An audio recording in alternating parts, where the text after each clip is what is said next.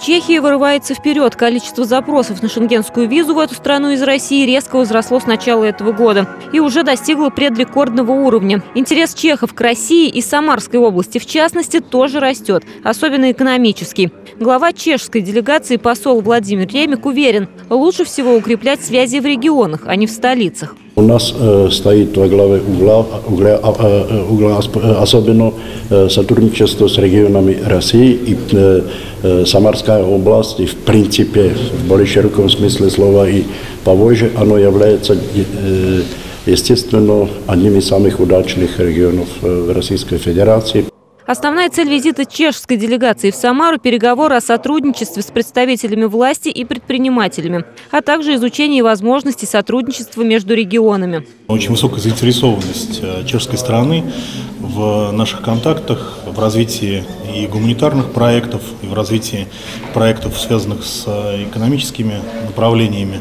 Вы знаете о том, что у нас э, Чешская экономика присутствует на территории Самарской области, развивается, новые предприятия открываются. Перспективы нашего сотрудничества имеют э, положительную динамику развития. Опыт будет очень полезен. У нас есть исторический опыт сотрудничества между фирмами. Был не очень хороший опыт. Но сейчас отношения наладились таким образом, что сотрудничество стало интересно и только налаживается. Чехия входит в состав стран Евросоюза, и после введения санкций были опасения, что экономические отношения с Россией пойдут на спад.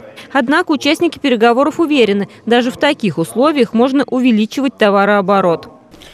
Я в этом смысле оптимист, потому что статистические данные подтверждают это мнение. За первые три месяца этого года товарооборот между Чехией и Россией вырос на 31%.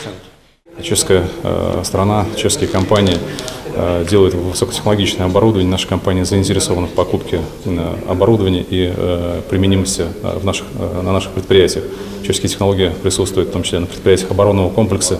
Это там очень важно, они создают новые высокопроизводительные рабочие места. Чешская делегация проведет в Самарской области 4 дня. На это время запланированы визиты на предприятия региона, а также в режиме нон-стоп проходят переговоры бизнесменов Чехии и Самары.